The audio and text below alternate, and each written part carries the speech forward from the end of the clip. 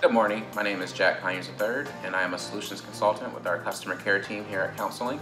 What that means is that I help you with some of your day-to-day tasks, also help you with some of your complex business problems. I aim to help you find the best solution to fit those needs and to solve those problems for you. I will be at some of the upcoming CounselLink client conferences, and I hope to engage with you. We can discuss these issues further, we can have dialogue, and we can also do any follow-up that you may have. So we hope to see you there, and I will talk to you soon.